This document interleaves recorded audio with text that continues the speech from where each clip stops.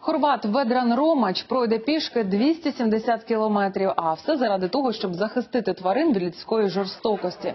Ітиме чоловік від міста Осік до столиці Хорватії Загреба 6 днів і завершить свою акцію на Великдень, 20 квітня. Свою ходу Ведран Ромач розпочав від прихистку, де перебувають дві сотні собак.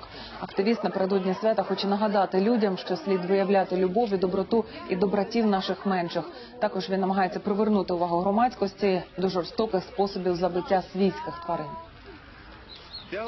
У ці дні напередодні найбільшого християнського свята, сенсом якого є перемога життя над смертю, я хотів би, щоб якомога більше людей зрозуміли, не можна позбавляти життя нікого, у тому числі й тварин. 60 мільярдів з них щороку убивають заради м'яса, хутра і шкіри.